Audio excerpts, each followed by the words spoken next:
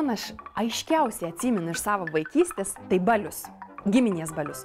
Būdavo suvažiaunam visi, į didelį, į mažį, į senį, į jaunį, į kom pirmą su mumis tėvą padarydavo, tai sustata visus į eilę.